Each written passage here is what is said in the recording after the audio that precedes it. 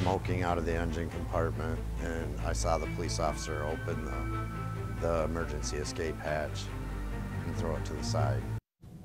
It's the first deadly plane crash in the Lansing area in more than 20 years. Tonight, investigators are trying to figure out why this plane went down near Capital Region International Airport this morning, killing three people. Good evening and thank you for joining us. I'm Sarah Swistak. The three people who survived that crash are in critical condition right now. The plane went down in a wooded area along Airport Road just west of the airport. It crashed as it was attempting to land. As our Carla Byron tells us, the single engine plane was coming from Indianapolis when tragedy struck.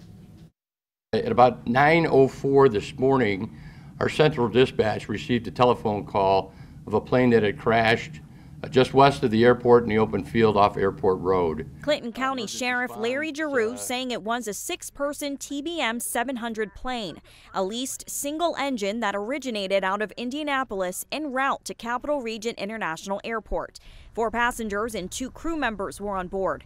The sheriff says it does not appear they were related. We have three confirmed deaths on board. Uh, three others have been transported uh, in critical condition uh, to Sparrow Hospital. The sheriff says it was a hard landing. The wings are still attached, the, per, uh, the propeller is there.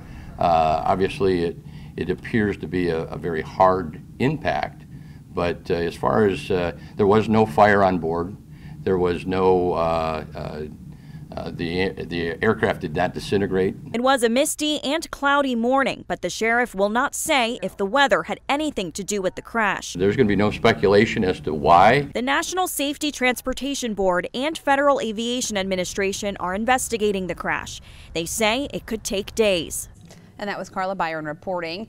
The crash did not result in any cancellations, and service will continue as scheduled for the rest of the day. The names of the passengers and crew have not been released. That probably won't change until all the families have been notified.